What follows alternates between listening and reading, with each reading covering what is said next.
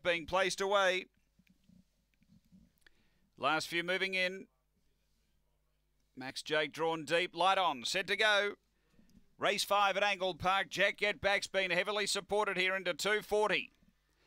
Racing, Jack Get Back leaves well off the inside, is going to punch up and be the speed here. So Jack Get Back found the lead. Master Chaos through to second. Uh, come home was its outside, then Love Made Me. Next Coco Spectre and back at the tail is Max Jake. They race to the back. Master Chaos getting up underneath. Jack Get Back. Come home was driving the rail.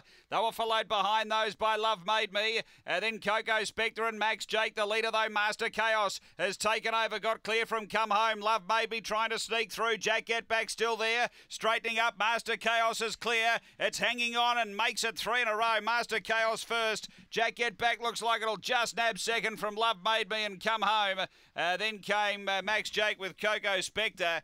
No time taken here. Master Chaos again. Three in a row. He uh, was a drifter in the market this time. His previous two starts, he has been backed off the map, but tonight he was easy and still gets the prize. It's 2, 1, 5, and 4. The time is hand timed here at a 34.93. Uh, number two, the winner, Master Chaos, Irene Riemann. Second, going to one, Jack Get Back for Ken Trowbridge. And third to five, Love Made Me for Troy Murray. It's two, one, five, and four after Angle Park, race five.